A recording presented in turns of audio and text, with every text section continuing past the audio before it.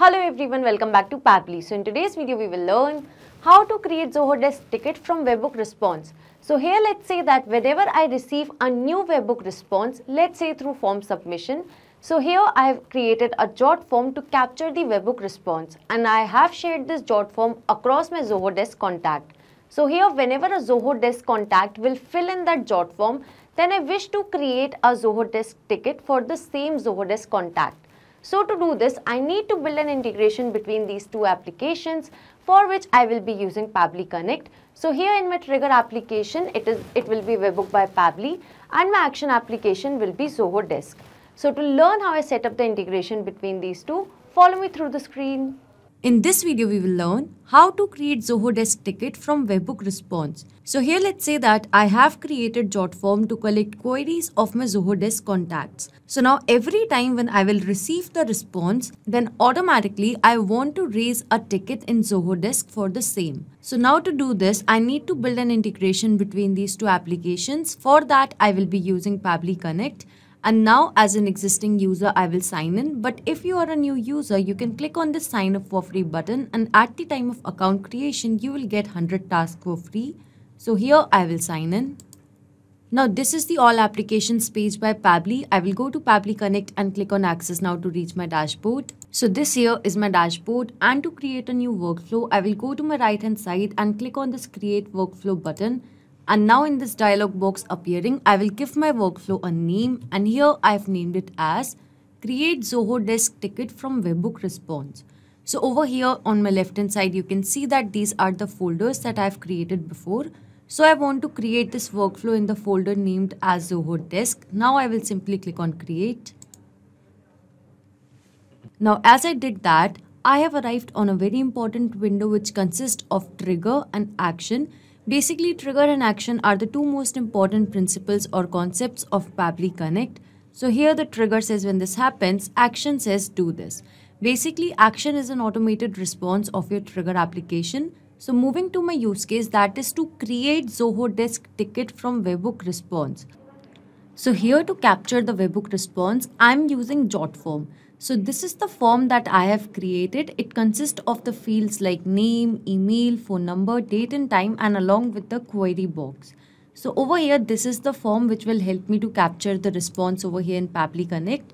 So now to connect this, I will copy this webhook URL and I will go to my jot form and here in my jot form, I will go to settings and in settings, I will go to integrations and now in integrations I will search for webhooks and here it is and now I will just remove this and paste the webhook URL over here that I've copied from Pabbly Connect and now I will click on complete integration. So it says integration ready. You have successfully created your integration. So now that means my integration is done. I will go to publish and over here I will copy this link and I will open this form over here so over here now I need to do a form submission. So as I've already mentioned that I have created this jot form to collect the queries from my Zoho desk contacts. So over here in my Zoho desk these are the contacts that I have. So let's take an example that I'm using this contact. So now I want to create a ticket for this particular contact that is by the name of dummy demo.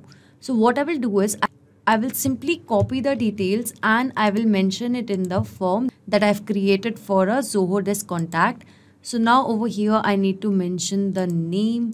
So the name is dummy demo. So I will simply copy the name, go back to jot form and over here I will paste the name.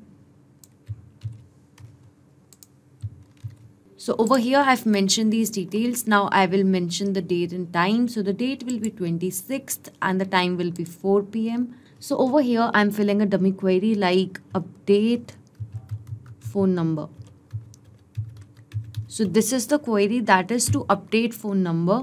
And now I will click on submit. And here you can see that thank you, your submission has been received. That means this response would have been captured in Pabbly Connect. So here in Pabbly Connect, you can see that I've received the response. Here you can see the details like the form title along with some other details that is of the first name, last name, email, phone number and some other details. So the first step of this automation is done. that was to capture the webhook response. So now whenever any of my Zoho contact will fill that jot form, then automatically the response will be captured over here in Pabbly Connect. So this trigger will instantly capture the new incoming data and the workflow execution will start in real time. So as I've got the response, now moving to my further objective that is to create Zoho Desk ticket from webhook response. So over here what I will do is as this was already a Zoho contact, so in my action application I will again search for Zoho Desk and here it is and now in the action event I will search for find contact. So as while making the form submission I have used the details of my Zoho contact. So now I'm finding that contact. So to find that contact I need to establish a connection between my Zoho Desk account and Pabbly Connect. So I will simply click on connect. And here if you have an existing connection you can go with the same or you can add a new connection. So to add a new connection I will click on connect with Zoho Desk and here you need to enter your domain name so that means over here in this url this is my domain name. So moving back to Pabbly Connect that is zoho.in so I will simply copy this from here and I am going to paste it over here. And now I will click on save. And here I will accept it as this is a secure connection. And the authorization was successful. So here you can see that Zoho Desk is successfully connected with Pabbly Connect. So now over here to find the contact in Zoho Desk over here I need to mention the email. So now over here from the response received I will map the email. So basically mapping is to insert the data from previous step. So over here from the response received I'm going to map the email and I have mapped it. So why I have used mapping over here because I want whenever a new webhook response will be captured then automatically the email ID of that person who has just submitted the form should be gathered over here in this email box and the workflow should run smoothly. So over here I have mapped it and now I will click on save and send test request. So over here in the response received, you can see that I have got the details of the contact successfully. And along with that, I've got the data owner ID over here. So as I've found the contact, so now I will move further. So I will click on this add action step. And now over here in this action window, I'm going to use this feature by Pabbly that is filter by Pabbly.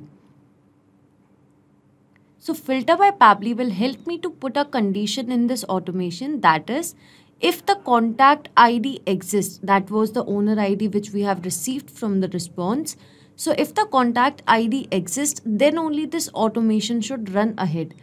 So now here in select label from the response received from find contact, here I'm going to mention the contact ID. So here this is the contact ID and now in filter type that will be exist. So if this contact ID exists, then only this workflow should run ahead. So now I will click on save and send test request. And here I have received the response. It is a positive response. The status is success and the message's condition is true. That means this workflow will only run ahead if the contact ID will exist. In the case if the contact ID will not exist, that means this workflow will not go ahead. Now moving further in this workflow, I'm going to create a ticket for the same contact. So over here, I will again search for Zoho Desk in my action application. And now I will go to the action event and over here, I will go for the action event as create new ticket. So now to create a new ticket, again I need to establish a connection between Zoho Desk and Pabbly Connect. So as I've already used Zoho Desk once in this workflow, so I will simply go with the existing connection. And here you can see that Zoho Desk is again connected with Pabbly Connect. So moving to the organization and department, so Pabbly Connect is already captured. So moving to subject, over here I need to mention the subject. So here I'm mentioning the query as the subject. So I'm searching for query over here and this is the query that is update phone number. So now moving to contact, I will click on this map button. If you want to enter the value manually instead of selecting the value from the drop down, so you can map the value from the previous step in your workflow as well. So over here, I'm clicking on map and I will just remove this ID. So as I've already got the owner ID from the find contact response, so over here I will search for owner ID and here is the owner ID. So as this is an existing contact, so I will not mention the email and phone number details. That is why I've mentioned the owner ID over here. So over here from the response received, I'm going to map the due date and I've mapped it. So now over here in due date, as the due date doesn't follow the instruction that is given below, so I need to make some changes in the due date. So to make the changes, what I will do is I will go to this action step and over here I will search for date time formatter. So date time formatter is a feature of Pabbly that helps you to change the format of date and time. So over here in action event, I want to format the date with time zone. So over here I will simply click on connect and now I need to mention the date over here. So from the response received, I'm going to mention the date and here I have mentioned it. Now the from format is this and the to format will be changed to this format. Moving to from time zone and to time zone. So over here in to time zone, I'm going to search for Kolkata as the time zone will be Asian Kolkata. So now I will click on save and send test request. So I will remove this and from this date time format response, I will be mapping the date and time I have mapped it. Moving to category, subcategory. So here I want the category to be general and the subcategory as subgeneral. And the priority of this ticket should be high and the channel will be email. Here I will change the assignee name. So here the status of the ticket is open. So now what I will do is I will simply click on save and send test request button.